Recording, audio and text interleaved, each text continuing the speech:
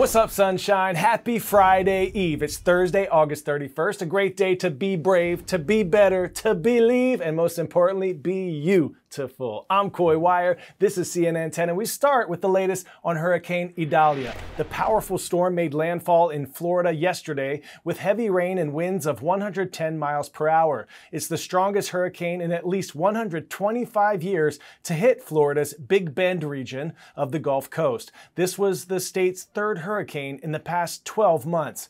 Right before it made landfall, Idalia experienced what's called an extreme rapid intensification. That's when winds increased by more than 35 miles per hour within a 24 hour span. Scientists say that's becoming more and more common due to warm water temperatures. Idalia jumped from a category 1 to a category 4, the second highest rating on the Saffir Simpson hurricane wind scale. It then dropped back to a category 3 before hitting land. It pushed water onto shore in a record setting storm surge. It also cut off power to hundreds of thousands of people. And check this out. Pilots caught this rare footage while evacuating an airbase ahead of the storm. That's not lightning. It's an uncommon weather event, an electrical phenomenon known as St. Elmo's fire. After the fast-moving storm passed through, the recovery and cleanup effort began right away. We are in Pinellas County, just on the other side of Tampa Bay, uh, where there uh, there's still some flooding concerns for a part of the city. Uh, the mayor tells me that they're still waiting for some of this water to recede so that officials get a, a better, a clearer picture of the kind of damage that they're dealing with here. Uh, Jerry, if you can show them just up the street from where we are here along the coastline, you can see uh, one emergency uh, crew is out here on a pickup truck. they've been driving up and down. A little bit further up the street out here, we're told some streets up there um, are pretty blocked off. Cars really can't get in and out of that area.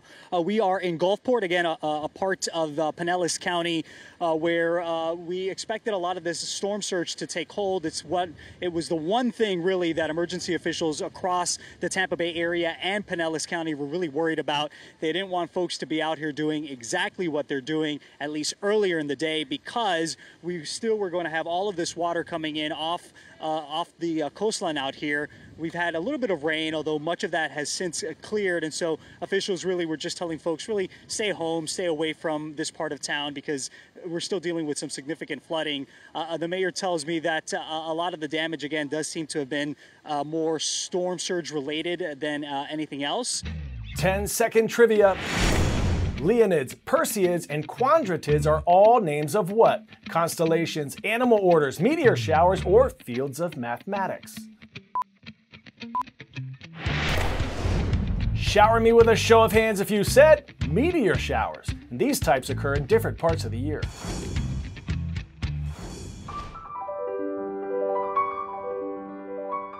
This fireball lit up the Colorado night sky as it traveled over the western U.S. Sightings were also reported in Nebraska, New Mexico, Utah, and Wyoming. NASA Meteor Watch fielded reports of loud booms and shaking in the area, caused by shock waves as the meteor disintegrated. They estimate the fireball hurtled through the sky at approximately 41,000 miles per hour, traveling 48 miles in 4 seconds before it crumbled above the Keystone Forest. We get questions here all the time about comets, asteroids, and meteors, meteorites. What's the difference?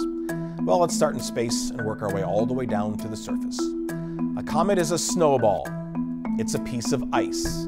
Now, the ice is mainly frozen gas, not water, but there could be dust and rocks and things inside the comet.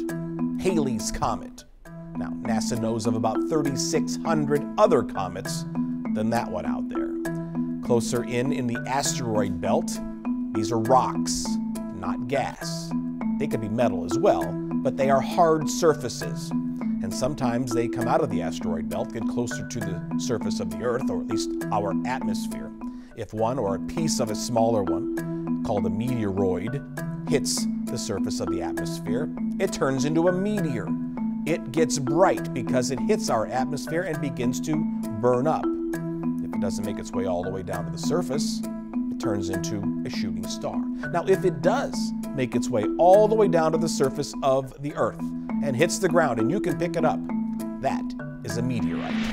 Have you ever heard of urban heat islands? If you live in a big city, you know how hot it can get in the summer, especially with all that heat radiating up off the concrete and asphalt. That's called the urban heat island effect. And it was first documented way back in the 1800s by a meteorologist in London. Today, we have tools that can help us identify and map these islands, which can be 18 degrees hotter than the areas around them. And that's important so these hot spots can be cooled down. And that's exactly what the architect architects in our next story are trying to do. In one study, the city had temperatures over 150, 160 degrees. We're cooking vast swaths of our city well done every single day. Why are we accepting so little? Why are the people here tolerating this? Our cities are hot by design, but they don't have to be that way. Architects Keenan Gibbons and Salvador Lindquist are uncovering exactly how we're cooking our cities using specialized tools like this drone. I snap pictures in parallel, so I get a standard photo, and then you get an identical thermal one at the exact same time. And it's opened up a whole world that just didn't exist previously. Our cities are hotter than surrounding rural areas, sometimes 15 to 20 degrees hotter in extreme cases. Heat is amplified due to the different types of materials that you would commonly find in the city asphalt, concrete, uh, reflective building surfaces. This is the urban heat island effect. Governments and organizations use satellites to measure heat distribution on a regional scale. The problem with that is that satellites can only understand heat at a 30 meter by 30 meter resolution. We're trying to find ways to understand the really highly localized impacts of heat and the drone gets you right in there.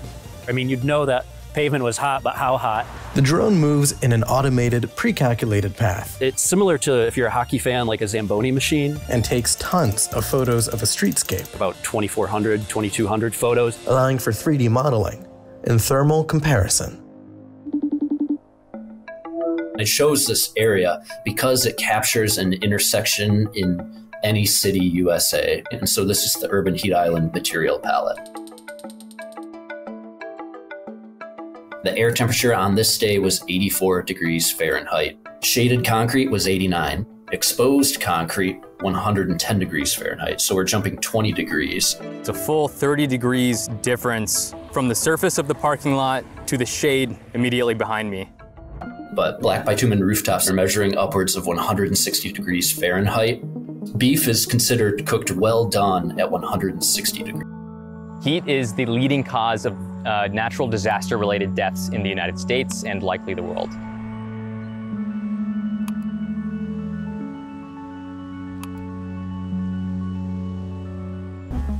We can build a model from this detailed map and then provide appropriate treatment options, you know, going forward.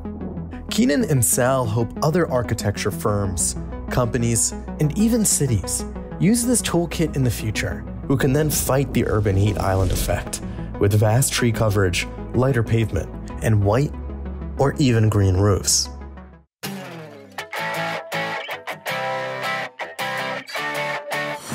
Some cities have trouble mowing grass in hard to reach places, but America's GOAT talent have no fear, your eco-friendly grazers are here. The city of Chicago goaded these goats after they spent two weeks filling up on grassoline, clearing seven acres of hard-to-reach vegetation around power lines. The city celebrated by giving them a driving tour around Chicago. These munching mowers are the greatest of all time, helping to prevent outages caused by overgrown power lines since 2019. Not bad not bad at all. And some of the other greatest of all time, the students and teachers at Lewis and Clark Middle School in Meridian, Idaho. You get the shout out today. Make the most of your moments today. An ancient philosopher once said, We all have two lives. The second begins, though, when we realize we have just one. I'm Coy Wire, and I'll see you tomorrow.